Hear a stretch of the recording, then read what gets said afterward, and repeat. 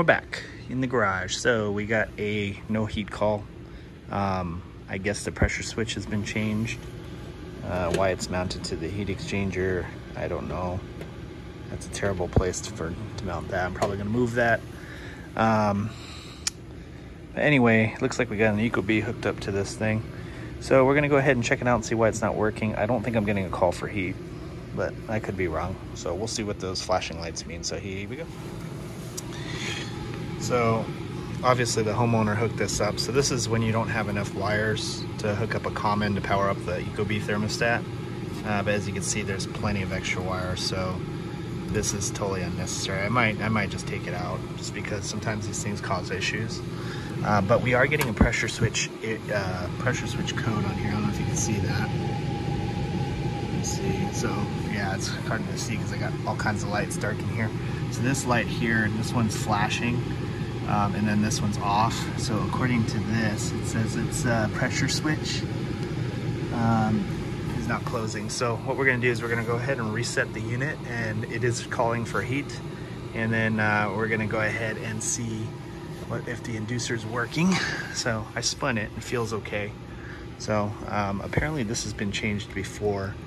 So we'll see what's going on. So if uh, this is new, we're gonna just make sure that the nipple isn't clogged or whatnot, and then we'll go from there.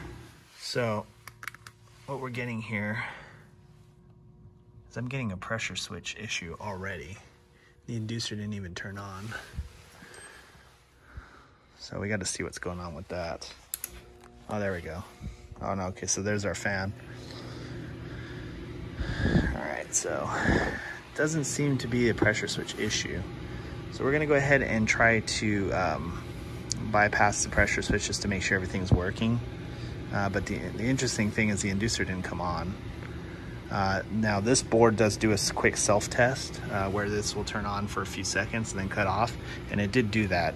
So that tells me the relay in there is fine. Um, so with these things, they have to actually detect that they're open and then it closes after like a second or two.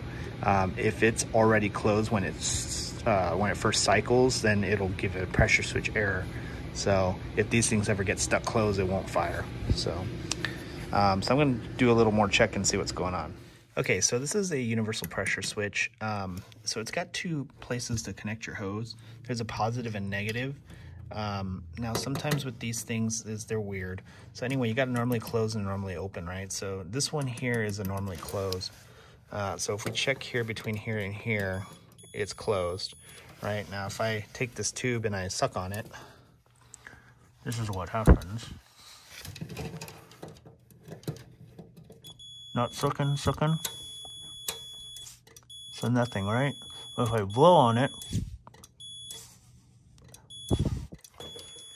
So basically this port is a positive, so um, it uses positive pressure to close it. This port here is for negative pressure, so um, this is producing a negative pressure, so it's not gonna close the switch. Uh, so we're gonna move the tube over here.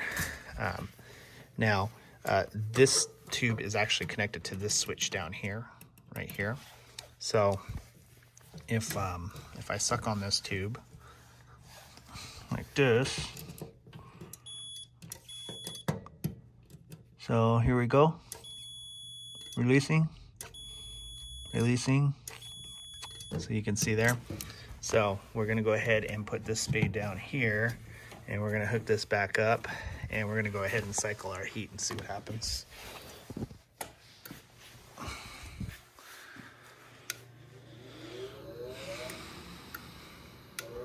Okay, so that was the self-test. Now we have inducer because the problem was is that pressure switch is closed. If the unit is calling for heat and the pressure switch is already closed, it's going to think it's stuck, so it's not going to it's not going to do anything. Uh, in this case, the inducer won't even run; it'll just run the fan.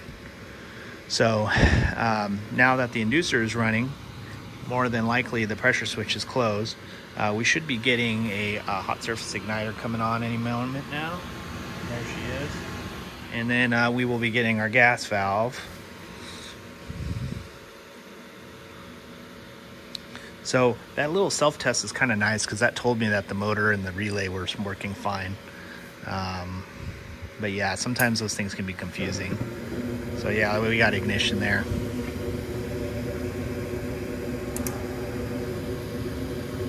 So it looks like we're good to go. So, you know, sometimes um, issues can be uh, another person's mistake. So I've made, I've actually made that mistake before. That's how I knew about that. It's because I've done it before. Um, so, you know, we'll let the tech know, uh, you know, what's going on with it. They'll probably watch this video and learn from it because uh, we all make mistakes out there. We're all human. And uh, I think I might clean, I'm think I might clean that flame sensor just to be safe. But anyway, it looks like we're good to go. So Thanks for watching. Make sure you like and subscribe, comment, tell me what a horrible technician I am. Hit that bell notification, follow me on Instagram and Facebook. Thanks for watching.